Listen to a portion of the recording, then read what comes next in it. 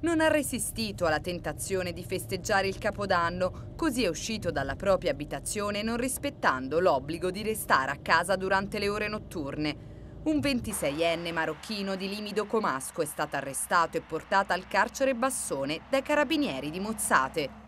All'uomo finito nei guai per spaccio di droga era stata riconosciuta una misura alternativa al carcere, l'affidamento terapeutico, che tuttavia tra gli obblighi aveva quello di stare in casa tra le 20 della sera e le 7 della mattina.